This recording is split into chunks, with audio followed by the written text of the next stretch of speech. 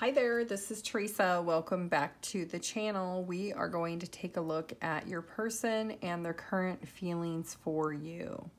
We are going to take a look Aries through Pisces. The timestamps will be listed down below. Keep in mind it is a general collective reading. Only take what resonates, leave the rest. If you'd like your own personal reading, my email address or my website are listed down below. So let's go ahead and get started with Aries first. Aries, the person you're thinking about, their current feelings for you.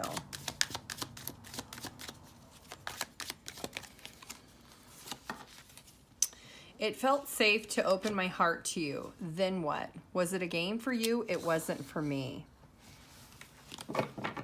So this person feels like they did open themselves up to you. They were very vulnerable and they did not feel the reciprocation in return. Is somebody who is very much stuck in their head about what happened. They felt like their hands were tied and they were very restricted on what they could say or do. This could be a situation where maybe it was very difficult between the two of you and this person put their heart on the line, but they didn't feel safe doing it, but they did it anyway. And now they feel like because they've done that and you haven't reciprocated it, that they feel completely lost or abandoned. This is somebody who does want to come out of conflict. They want to reach a, some type of agreement, even if it's an agree to disagree about expressing feelings and emotions and being vulnerable. Let's see what the likely outcome is. Okay, so it does look like there is going to be a lack of direction on how the two of you are going to be able to recover from this because your person is feeling like it is a struggle for them because they were so vulnerable and they feel like it's very raw to them that they're not able to move past it right now does look like the truth is going to come out that the honesty is that this person has learned a lesson that not everybody is as open and vulnerable as they have been. Taurus.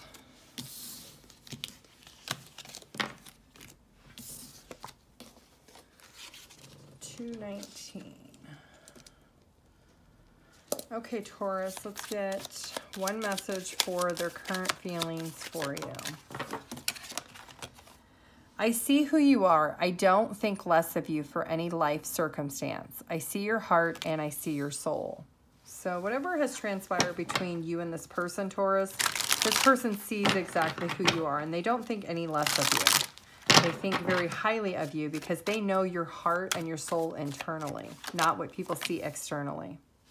They see that maybe you are somebody who lets go and has a lot of regrets when it comes to connections, and maybe you end things prematurely. This is somebody who feels that there is a little bit of restriction or loneliness that they feel because they know who you are at a soul level. They could feel a very strong soul contact with you that's very intense that that could be why they feel like they understand you that they see who your heart and soul is, even if you don't express it. This is somebody who they're trying to understand what they should do. They want there to be some type of structure when it comes to the feelings and emotions, but this person does not think less of you because you're not able to open up as freely as they are. The likely outcome is there is going to be some type of forgiveness and healing that's going to happen between the two of you. You both will have a conversation about how you each feel, and it's going to bring a renewal of hope back into the connection.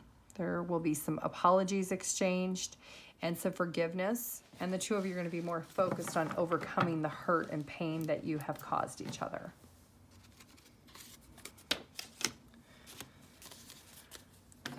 Gemini.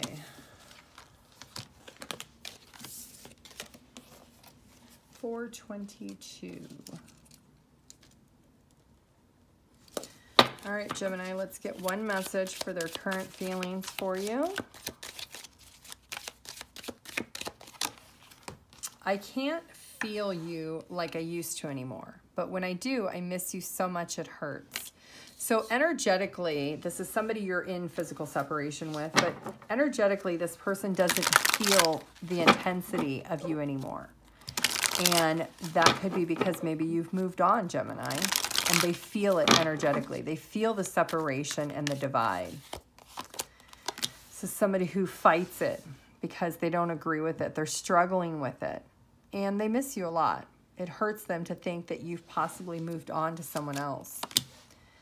Is someone who feels like this is a major missed opportunity, but it's out of their control. They don't have any say about what's happened or what's transpired. They are a little bit disappointed and they feel like they have to get defensive if people ask them about what happened because they are still very hurt about the situation. Yeah, this sudden change that transpired, maybe you guys broke up or you went no contact. This person feels it. This was something very catastrophic to them. And this is something they thought that the two of you were going to be together for the long term, that maybe you were actually going to come together and possibly get married one day.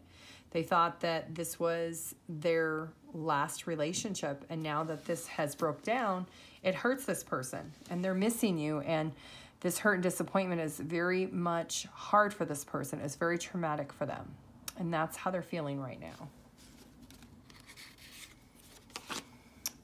Cancer.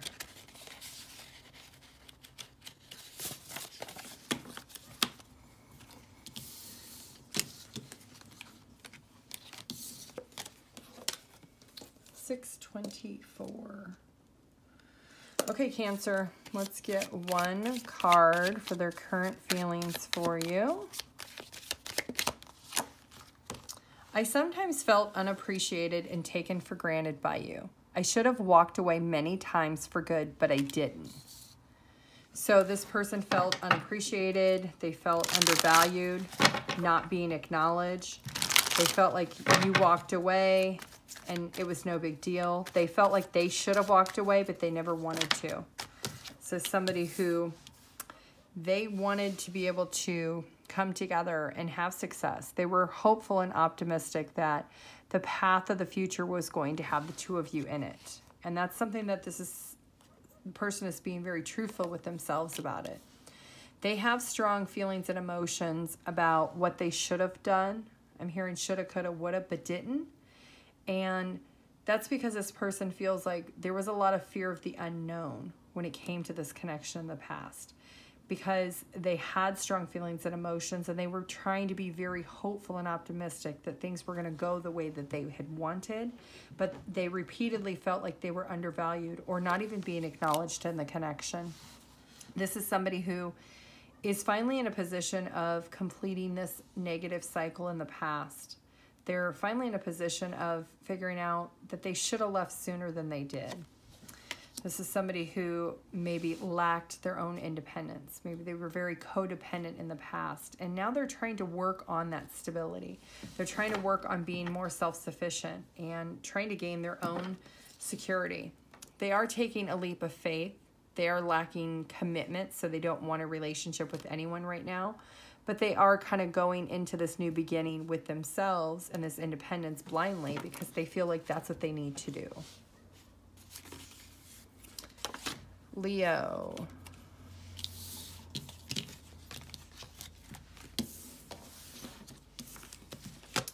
Eight thirty-six.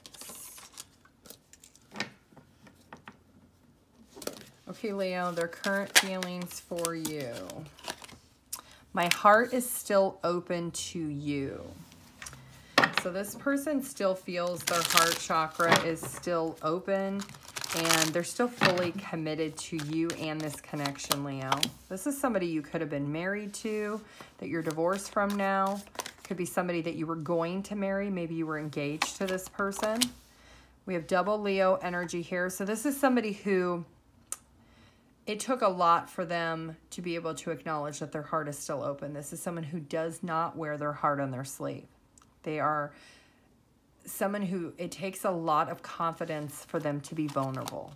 And this is something this person is recognizing now that they have to jump all in if they want to be able to express that their heart is still there for you, that they still love you and they still want this. This could be a Capricorn Leo or it could be another Leo.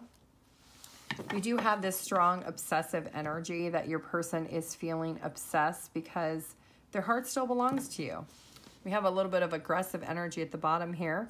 They are wanting to talk. They want to be honest with you And it might be something that they're being a little bit impulsive with the way they come towards you, but it's it's they're wanting to jump all in because their heart still belongs to you, Leo. Virgo.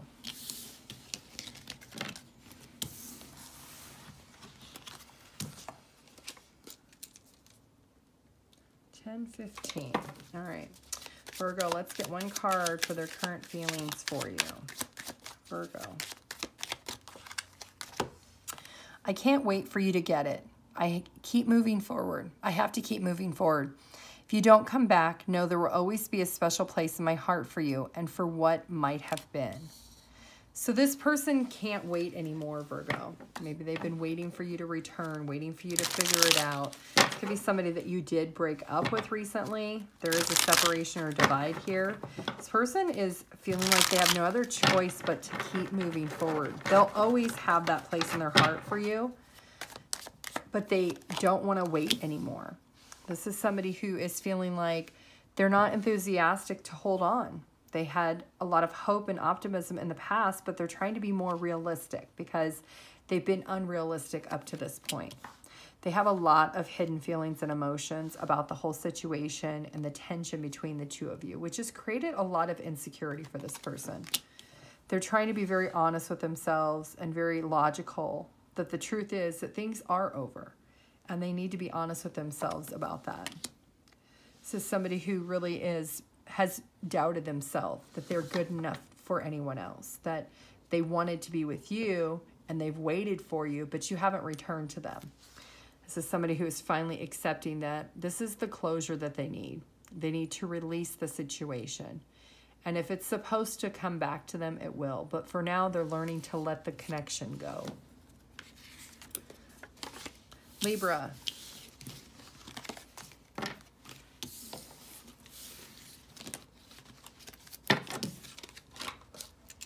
12, 11.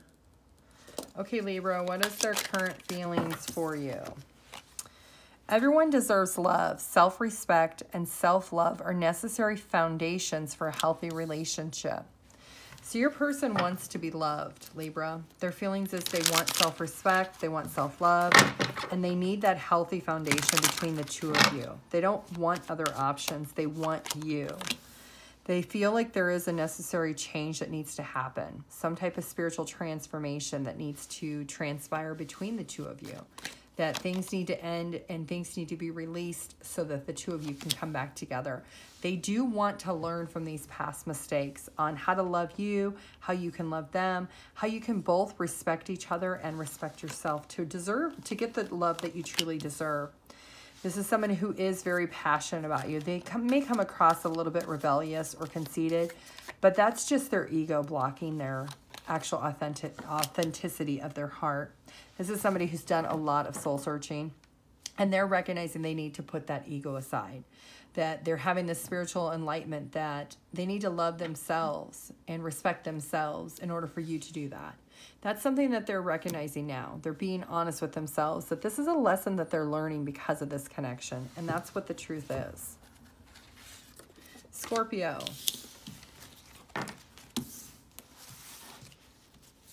Thirteen forty three.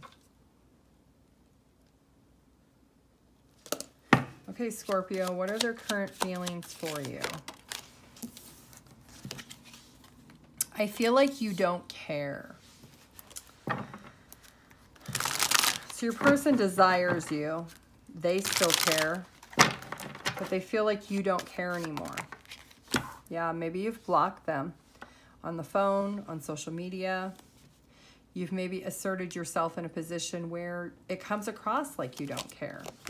This person felt like for a very long time that you've held back. You maybe have out with the old and with the new. Maybe you're dating someone else and that's why they feel that way. There is a sense of broken dreams that this person feels when they think about you and this connection. They thought you were their wish fulfillment, and now they're in this lack of accomplishment because they feel like you just don't care anymore, that you've given up. This is somebody that you could have been with for a very long time. There could be a long history here. This person is trying to let the connection go because they can't care for you. If you don't care, they're not going to continue to care either. So someone who's learning to grow up and accept responsibility, that they need to be mature and accept that maybe the situation is over. Sagittarius.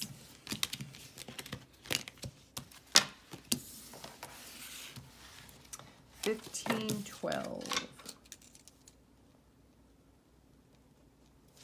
Okay, Sagittarius, the current feelings for you.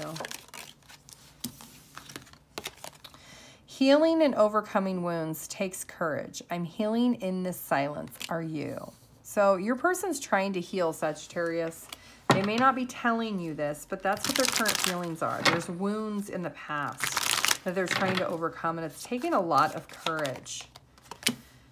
Your person has a lot of built up anxiety and burden in their heart because of this healing. Could be healing from this connection or healing from other things from their past. That's why they're quiet. So someone who's not trying to be rude, but they may be coming across that way because they have impulsively made the decision that they need to focus on these wounds. They are looking at maybe potential options and how they can create the opportunity to overcome these wounds. They could be asking people for advice, seeking legal counsel. There is a lot of different things that this person is trying to do research on figuring out how to overcome the wounds that they're dealing with. There is a sense of instability on your person's part, and they're not running away from the connection, but they are running into recovery for themselves, which is something that is necessary for them to overcome. It's taken a lot of strength and courage for your person to get to this point but they are thinking more logical and doing the necessary work that they need to during this time period for themselves. Capricorn.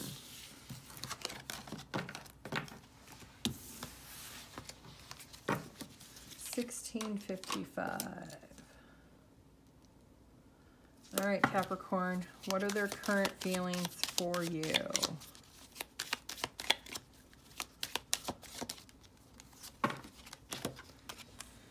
I am responsible for my own healing and happiness. I know how to transform pain into something higher. I'm not a victim to anything. So your person's not trying to play victim, if that's what you think. They're trying to be responsible for their own happiness. They know that they can't be happy with you or anyone else until they transition and form into their own healing and happiness, which is a journey that this person needs to go on independently they may come across as somebody who's not emotionally mature or available. And it's because they've had to step away because they don't want to play the victim. That's not the role that they want to be in. So somebody who is trying to maybe gain spiritual strength to overcome what they need to with this healing journey that they're on. This person in the past maybe tried to heal themselves and they weren't able to. They failed repeatedly because they didn't know how. They didn't have the truth and clarity of how to do that. And now they're getting the, the advice that they need. They're getting the guidance and they're getting the support that they need from people in their community, people in their family, people that are close to them, people that can relate to what they've been through. And they're focusing on their healing to find that true happiness. That's something that your person's trying to find this inner peace of viewing things from the past and what perspective they looked at in the past that made them feel like a victim. They're no longer looking at things that way. They're looking at things very different now. Aquarius.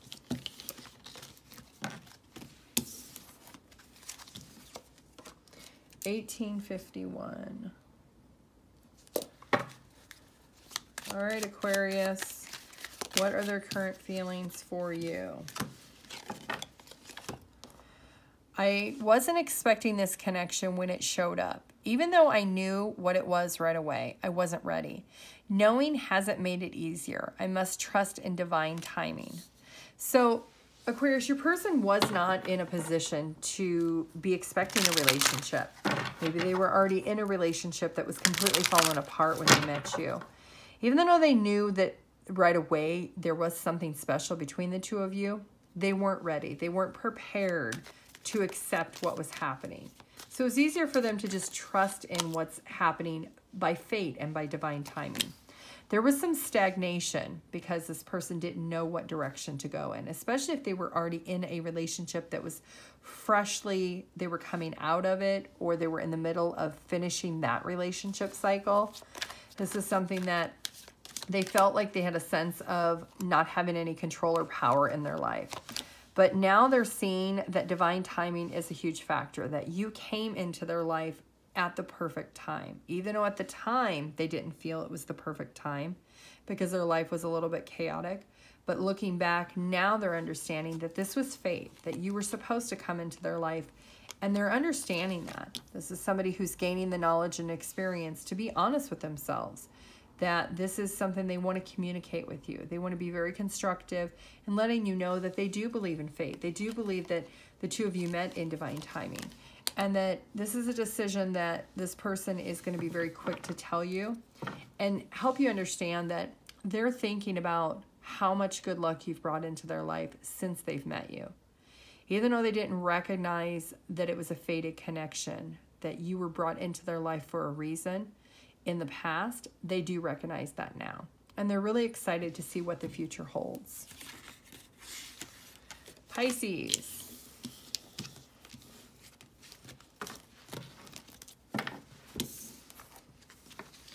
2109. All right, Pisces, what are their current feelings for you? Pisces.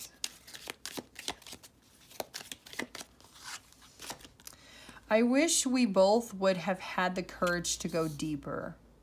So there's some regrets on your person's part about knowing, not going in a more vulnerable state with you, not opening up not having the courage to be fully transparent about what they were feeling.